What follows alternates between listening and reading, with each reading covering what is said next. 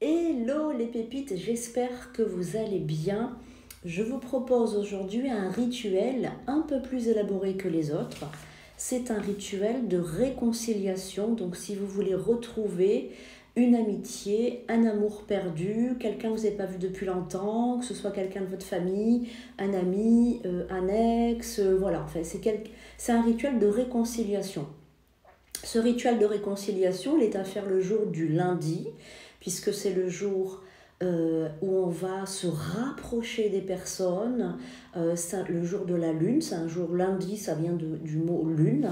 Euh, et c'est à faire en lune montante. Si vous ne savez pas ce que c'est que la lune montante, si vous ne connaissez pas les phases de la lune, allez regarder sur Internet, sur Google, et vous tapez phase lunaire et vous allez voir la phase de la lune montante quand elle, quand elle devient pleine. Voilà, il faut jamais faire un rituel quand elle décroisse ou quand elle est toute noire. Là, c'est vraiment négatif, c'est le mal. Faites-le quand elle va devenir pleine, ok? Donc à faire uniquement les lundis. Avant de vous donner ce rituel, vous allez devoir vous abonner pour montrer une gratitude. C'est très important, sinon votre rituel, il manquera quelque chose. Donc n'oubliez pas de vous abonner. Vous allez aussi sur ma bio et vous vous abonnez. Euh, au compte Instagram, comme ça vous allez me voir tous les jours en publication. Et sur YouTube, je fais des vidéos un peu plus euh, longues. Et là, maintenant, je peux faire des vidéos un peu plus longues, donc je suis super contente. Comme ça, on va pouvoir bien mieux se parler. Trois minutes, c'était vraiment très très court. Là, on a un peu plus de temps pour faire des choses un peu plus élaborées.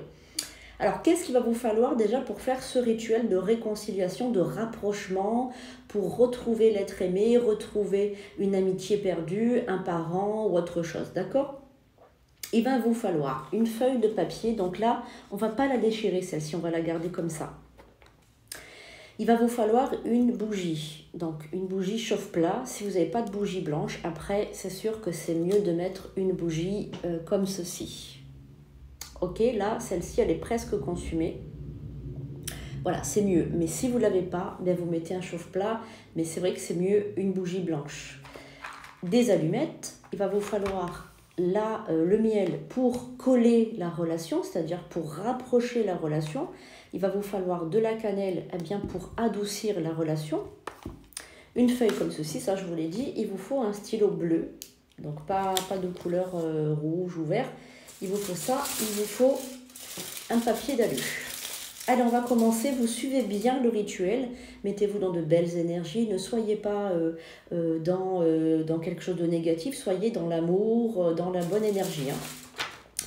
Il n'y a pas de retour de bâton puisque c'est pas de la magie noire. Au contraire, c'est de la magie, on va dire, euh, c'est même pas de la magie, mais c'est quelque chose. Oui, ça peut être considéré un peu comme de la magie blanche pour rapprocher les gens, mais ce n'est, il faut pas faire ça sur quelqu'un qui est en couple ou qui est marié, parce que là, vous allez avoir de gros problèmes. Alors, on va commencer maintenant. Donc, on va faire un petit dessin pour rapprocher les deux personnes. Alors, vous allez faire un petit bonhomme allumette, comme ceci. Et à côté, vous allez faire un autre bonhomme, allumette. Voilà, comme ça, qui se tiennent comme s'ils se tenaient par la main. OK? Maintenant, vous allez faire un cercle autour pour bien les protéger. Comme ceci. Bon, c'est pas grave si vous ne le faites pas bien au centre. Là, je ne l'ai pas fait bien au centre, c'est pas très grave. Et dessous, donc hors de la bulle, vous allez écrire donc le prénom, euh, votre prénom et le prénom de la personne. Ce rituel, vous ne pouvez pas le faire pour quelqu'un d'autre, vous pouvez le faire que pour vous. Vous ne pouvez pas réconcilier deux personnes. Par exemple, si vous avez envie que vos parents se remettent ensemble, vous ne pouvez pas le faire, c'est interdit. Voilà, si vous ne connaissez pas le prénom de la personne, vous ne le faites pas. Parce qu'il faut quand même vraiment connaître euh, euh, la personne. Il faut l'avoir connue, il faut quand même lui avoir parlé, sinon c'est pas possible. Voilà. Alors maintenant, vous allez écrire au-dessus la phrase suivante. Toi qui es loin de moi, reviens, reviens-moi, pardon, reviens-moi et ne pars plus. Il faut vraiment le faire pour quelqu'un, voilà. Alors, je vous répète la phrase, toi qui es loin de moi, reviens-moi et ne pars plus. Il faut vraiment faire ça avec quelqu'un que vous n'avez plus vu depuis peut-être longtemps, qui, qui, est parti ou qui ne veut plus vous voir, mais il ne faut pas que ce soit... Euh, euh, que la personne soit avec une autre personne si c'est un ex, euh, parce que là, c'est pas bien de faire ça. De toute façon, ça ne marchera pas. Il faut vraiment faire ça avec le cœur. Et vous l'écrivez aussi en bas. Il faut qu'il soit des deux côtés. Donc, toi qui est... Ne faites pas ça la nuit aussi, hein. ça je ne vous l'ai pas dit, vous faites ça bien la journée. Hein. Loin de moi, reviens-moi et ne pars plus. Voilà. Alors c'est vrai que je ne l'ai pas fait bien au centre, faites-le bien au centre si vous voulez, mais sinon il n'y a pas de, pas de problème. Bon, alors dessus, allez, maintenant, on va y verser de la cannelle. Donc pour l'amour, euh, pour même si c'est un, ami, il y a, y a, de l'amour, hein, d'accord?